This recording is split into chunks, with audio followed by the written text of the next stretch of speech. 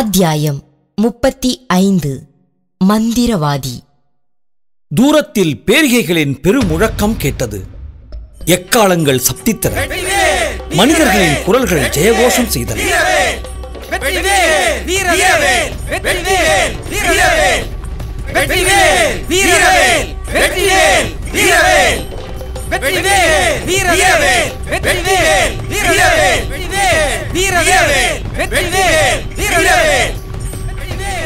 கோட்டை கதவுகள் திறந்து மூடிக்கொள்ளும் சத்தமும் யானைகள் குதிரைகளின் காலடி சத்தமும் எழுந்தன. நந்தினியின் கவனத்தை அந்த சத்தங்கள் கவர்ந்தன என்பதை வந்தியத்தேவன் அறிந்து கொண்டான். காவல் புரிந்த தாதிப்பெண் திடுக்கிட்டு எழுந்து சற்று அருகிலே வந்து அம்மா எஜமான் வந்து விட்டார் போலிருக்கிறது. எனக்கு தெரியும். நீ உன் இடத்துக்கு போ. பிறகு வந்தியத்தேவனை பார்த்து தனாதிகாரி கோட்டையில் பிரவேசிக்கிறார். சக்கரவர்த்தியின் க்ஷேமத்தை விசாரித்துவிட்டு கோட்டை தளபதியை பார்த்து பேசிவிட்டு இங்கே வருவார். வருவதற்குள் நீ போய்விட வேண்டும். ஆ ஆழ்வார்க்கடியார் கூறிய செய்தி என்ன? அம்மணி அந்த வீர வைஷ்ணவ சிகாமணி தங்களை அவருடைய சகோதரி என்று சொல்லிக் கொண்டார். அது உண்மைதானா? அதை பற்றி நீ ஏன் சந்தேகப்படுகிறாய்? பச்சை கிளியும் கடுவன் குரங்கும் ஒரு தாயின் குழந்தைகள் என்றால் எளிதில் நம்ப முடியுமா? ஒரு விதத்தில் அவர் சொன்னது உண்மைதான். நாங்கள் ஒரே வீட்டில் ஒரே குடும்பத்தில் வளர்ந்தோம். உடன் பிறந்த தங்கையைப் போலவே என்னிடம் பிரியம் வைத்திருந்தார். பாவம். அவருக்கு பெரும் ஏமாற்றம் அளித்து விட்டேன். அப்படியானால் சரி. ஆழ்வார்க்கடியார் தங்களுக்கு சொல்லி அனுப்பிய செய்தி கிருஷ்ண பகவான் தங்களுக்காக காத்துக்கொண்டிருக்கிறார் என்பதுதான். தாங்கள் கண்ணனை மணந்து கொள்ளும் கல்யாண காட்சியை பார்க்க வீர வைஷ்ணவ பக்த கோடிகளும் காத்துக் கொண்டிருக்கிறார்களாம். ஆஹா. இன்னும் அவருக்கு அந்த சபலம் நீங்கவில்லை போலிருக்கிறது. நீ அவரை பார்த்தால் எனக்காக இதைச் சொல்லிவிடு. என்னை அடியோடு மறந்துவிடச் சொல்லு. ஆண்டாளைப் போல் பரம பக்தையாக கொஞ்சமும் தகுதியற்றவள் நான் என்று சொல்லு. நான் அதை ஒப்புக்கொள்ளவில்லை அம்மா என்னத்தை ஒப்புக்கொள்ளவில்லை? தாங்கள் ஆண்டால் ஆக முடியாது என்பதைத்தான் ஒப்புக்கொள்ளவில்லை.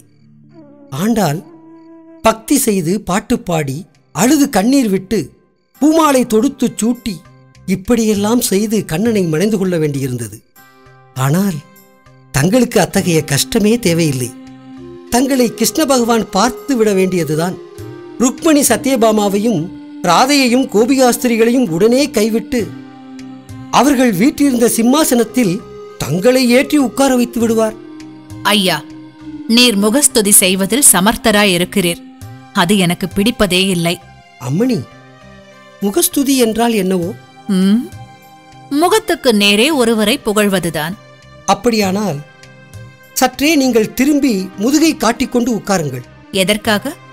முகத்தை பார்க்காமல் முதுகை பார்த்து கொண்டு புகழ்ச்சி கூறுவதற்காகத்தான். அதில் ஒன்றும் தவறு இல்லை அல்லவா? ம் நீர் பேச்சில் மிக கெட்டிக்காரராய் இருக்கிறீர். இப்போது தாங்கள் அல்லவா முகஸ்துதி செய்கிறீர்கள்? நீரும் உமது முகத்தை திருப்பிக் கொண்டு முதுகை காட்டுவதுதானே? மகாராணி போர்க்களத்தில் ஆகட்டும் பெண்மணிகளிடமாகட்டும் நான் முதுகு காட்டுவது எப்போதும் கிடையாது. தாங்கள் தாராளமாய் என்னை முகஸ்துதி செய்யலாம்.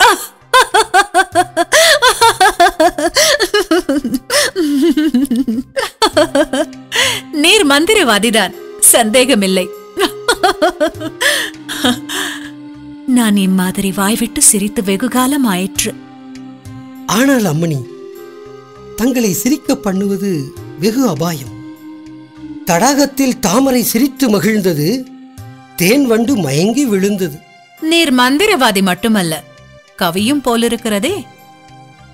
அம்மணி நான் முகஸ்துதிக்கும் அஞ்ச மாட்டேன் வசவுக்கும் கலங்க மாட்டேன். உம்மை யார் வைத்தது? சற்று முன் என்னை கவி என்றீர்களே? அப்படியென்றால் நான் சிறுவனாயிருந்தபோது என்னை சிலர் குரங்கு மூஞ்சி என்று சொல்வதுண்டு. வெகு நாளைக்கு பிறகு இன்றைக்குத்தான் தங்களுடைய பவளச் செவ்வாயினால் அதை கேட்டேன். உம்மையா குரங்கு மூஞ்சி என்றார்கள்? யார் அப்படிப்பட்ட புத்திசாலிகள்? அவர்களில் யாரும் இப்போது உயிரோடு இல்லை. உம்மை நான் அவ்விதம் சொல்லவில்லை. கவி பாடக்கூடியவர் போல் இருக்கிறதே என்று சொன்னேன். கொஞ்சம் கவியும் பாடுவேன். ஆனால் பகைவர்களுக்கு முன்னால் தான் பாடுவேன். வில்லம்பினால் சாகாதவர்கள் சொல்லம்பினால் சாகட்டும் என்று. ஐயா கவிராஜ வீரசிங்கமே உம்முடைய பெயர் என்னவென்று இன்னமும் சொல்லவில்லையே? என் சொந்த பெயர் வந்தியத்தேவன் பட்டப்பெயர் வல்லவரையன். அரசர் குலத்தினரா? பழைய புகழ்பெற்ற வானாதி ராஜகுலத்தில் வந்தவன். இப்போது உங்கள் ராஜ்யம்? மேலே ஆகாசம் கீழே பூமி. இப்போது நான் சகல பூமண்டலத்துக்கும் ஏக சக்கராதிபதி. அப்படி ஒன்றும் நடக்காத காரியமில்லை. உம்முடைய பூர்வீக ராஜ்யத்தை நீர் திரும்பவும் பெறலாம். அது எப்படி சாத்தியம் அம்மணி? புலியின் வயிற்றுக்குள்ளே போனது திரும்பவும் வருமா? சோழ சாம்ராஜ்யத்தில் சேர்ந்த அரசு திரும்ப கிடைக்குமா? கிடைக்கும்படி செய்ய என்னால் முடியும். அம்மணி வேண்டாம். ராஜ்யம் ஆளும் ஆசை எனக்கு எப்போதும் கிடையாது. கொஞ்சம் இருந்ததும் இன்றைக்கு சுந்தர சோழ சக்கரவர்த்தியை பார்த்த பிறகு அடியோடு போய்விட்டது. இம்மாதிரி பிறர் கையை எதிர்பார்த்து சக்கரவர்த்தியாய் இருப்பதைக் காட்டிலும் மறுநாள் உணவு எங்கே கிடைக்கும் என்று தெரியாத சுதந்திர மனிதராக இருப்பதே மேல். என்னுடைய கருத்தும் அதுதான். என்றாள் நந்தினி. பிறகு ஏதோ மறந்து போன விஷயத்தை ஞாபகப்படுத்திக் கொண்டவள் போல. ஆ சின்ன பழுவேட்டரையரின் ஆட்கள் உம்மை எதற்காக தேடுகிறார்கள்? தங்களுடைய தாதி பெண்ணைப் போல் அவருக்கும் என் பேரில் சந்தேகம் உண்டாகிவிட்டது. என்ன சந்தேகம்? பண இலச்சினை உள்ள முத்திரை மோதிரம் என்னிடம் எப்படி வந்தது என்று. நந்தினியின் முகத்தில் பயத்தின் சிறிய சாயல் தென்பட்டது. மோதிரம் எங்கே? இதோ இருக்கிறது அம்மணி. லேசில் அதை போக்கடித்து விடுவேனா? என்று கூறிக்கொண்டே மோதிரத்தை எடுத்து காட்டினான் வந்தியத்தேவன். இது உம்மிடம் இருப்பது அவருக்கு எப்படி தெரிந்தது? சுந்தர சோழ சக்கரவர்த்தியை பார்க்க வேண்டும் என்ற ஆசை என் மனத்தில் நெடுநாளாக இருந்தது. அதற்கு இந்த முத்திரை மோதிரத்தை உபயோகப்படுத்திக் கொண்டேன். பார்த்து முடிந்த பிறகு இந்த மோதிரம் என்னிடம் எப்படி வந்தது என்று கோட்டை தளபதி கேட்டார். நீர் என்ன சொன்னீர்? தங்கள் பெயரை சொல்லவில்லை அம்மணி. பெரிய பழுவேட்டரையர் கொடுத்தார் என்று சொன்னேன். கடம்பூர் மாளிகையில் கொடுத்தார் என்றும் சொன்னேன். அப்பாடா. நீர் சொன்னதை அவர் நம்பினாரா? முழுதும் நம்பியதாக தெரியவில்லை. அதனால் தானே என்னை பின்தொடரும்படி ஆட்களை விட்டிருக்க வேண்டும். தமையனார் திரும்பி வந்ததும் என்னை அவர் முன்னால் நிறுத்தி உண்மையை அறிய எண்ணியிருக்கலாம். பெரிய பழுவேட்டரையரிடம் நீர் பயப்பட வேண்டாம்.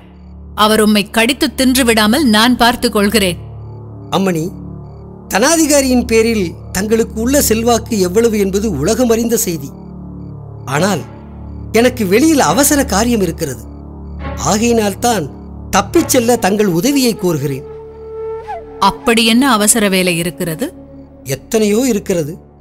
உதாரணமாக ஆழ்வார்க்கடியாரை பார்த்து தங்கள் மறுமொழியை சொல்ல வேண்டும். ஆமாம் அவருக்கு நான் என்ன சொல்லட்டும்? அவருக்கு நந்தினி என்று ஒரு சகோதரி இருந்தாள் என்பதை அடியோடு மறந்து விடும்படி சொல்லும். சொல்லிவிடலாம். ஆனால் நடக்கிற காரியமில்லை. எது? தங்களை மறப்பதுதான். இரண்டு தடவை தற்செயலாக பார்த்த என்னாலேயே தங்களை மறக்க முடியாது போல் இருக்கிறதே வாழ்நாளெல்லாம் தங்களோடு இருந்தவரால் எப்படி தங்களை மறக்க முடியும்? நந்தினியின் முகத்தில் வெற்றி பெருமிதத்தின் சாயல் பரிணமித்தது. அவளுடைய வேல்விழிகள் வந்தியத்தேவனுடைய நெஞ்சை ஊடுருவின போல நோக்கின. சக்கரவர்த்தியை பார்ப்பதற்கு நீர் ஏன் அவ்வளவு ஆவல் கொண்டிருந்தீர்? உலக பிரசித்தி பெற்ற அந்த சுந்தர புருஷரை பார்க்க நான் விரும்பியதில் வியப்பு என்ன? உலகத்தில் வீர மன்னர்கள் தங்கள் வீரமும் பௌருஷமும் பெருக வேண்டும் என்றும் ராஜ்யமும் கீர்த்தியும் விஸ்தரிக்க வேண்டும் என்றும் விரும்புவார்கள். அவ்விதமே பிரஜைகளை பிரார்த்தனை செய்யும்படியும் சொல்லுவார்கள். ஆனால் நம்முடைய சக்கரவர்த்தியை பற்றி புத்த பிக்ஷுக்களின் மடங்களில் என்ன பிரார்த்தனை செய்கிறார்கள்? சுந்தர சோழர் வன்மையும் வனப்பும் திண்மையும் உலகில் சிறந்து வாழ்கனவே என்று பிரார்த்தனை செலுத்துகிறார்கள். இத்தகைய கலியுக மன்மதனை பார்க்க வேண்டும் என்று எனக்கு வெகு நாளாக ஆசையாக இருந்தது. ஆமாம். சக்கரவர்த்திக்கு தம்முடைய அழகை பற்றி ரொம்ப பெருமைதான். அவருடைய செல்வகுமாரிக்கு அதைவிட அதிக கர்வம்.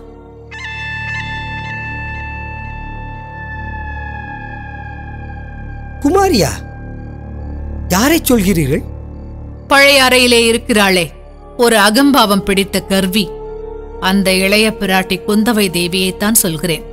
வந்தியத்தேவா நீ அதிர்ஷ்டக்காரன்தான்.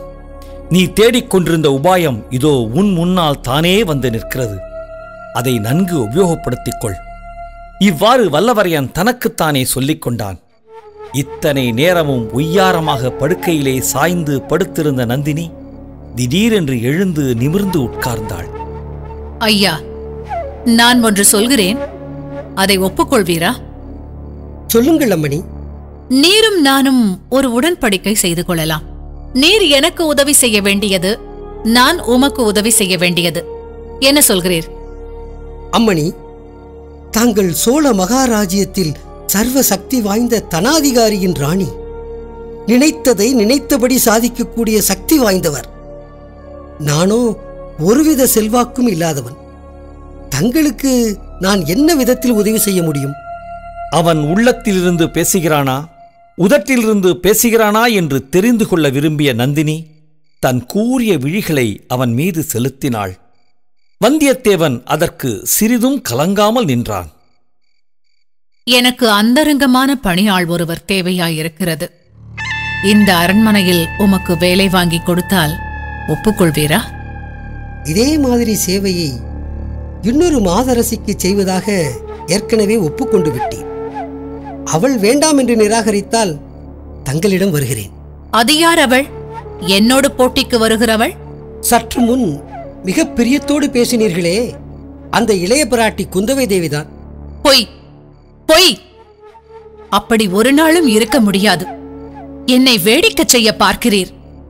மகாராணி இந்த ஓலையை ஏற்கனவே பலர் தேடி பார்த்து விட்டார்கள். ஆகையால் தாங்களும் இதை பார்ப்பதினால் மோசம் ஒன்றும் வந்துவிடாது. என்று சொல்லிக்கொண்டே வந்தியத்தேவன் ஆதித்த கரிகாலர் குந்தவைக்கு கொடுத்த ஓலையை எடுத்து நீட்டினான். நந்தினி ஓலையை விளக்கின் அடியில் பிடித்துக்கொண்டு படித்தாள். படித்து முடித்தபோது அவளுடைய கண்களில் இருந்து கிளம்பிய மின்னல் ஜுவாலை நாக சர்ப்பத்தின் வாயிலிருந்து வெளிவந்து மறையும் அதன் பிளவுபட்ட நாவை வந்தியத்தேவனுக்கு நினைவூட்டியது. அவனை அறியாமல் அவன் உடம்பு நடுங்கியது. நந்தினி கம்பீர பாவத்துடன் வந்தியத்தேவனை பார்த்து ஐயா நீர் இந்த கோட்டையிலிருந்து உயிரோடு தப்பிச் செல்ல எண்ணுகிறீர் அல்லவா? ஆமம்மா. அதற்குத்தான் தங்கள் உதவியை நாடி வந்தேன். ஒரு நிபந்தனையின் பேரில்தான் உம்மை தப்பித்து விட நான் உதவி செய்யலாகும். நிபந்தனையை சொல்லுங்கள். இந்த ஓலைக்கு குந்தவை என்ன மறு ஓலை கொடுக்கிறாளோ அதை மறுபடியும் என்னிடம் கொண்டு வந்து காட்ட வேண்டும். சம்மதமா?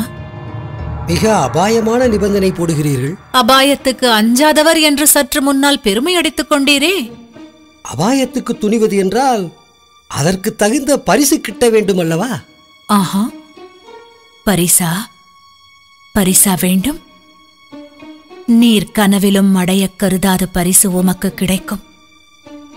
சோழ சாம்ராஜ்யத்தில் இன்று சர்வசக்தி வாய்ந்தவராய் விளங்கும் பெரிய பழுவேட்டரையர் எந்த பரிசுக்காக வருஷக்கணக்காக தவம் கிடக்கிறாரோ அத்தகைய பரிசு உமக்கு கிடைக்கும்.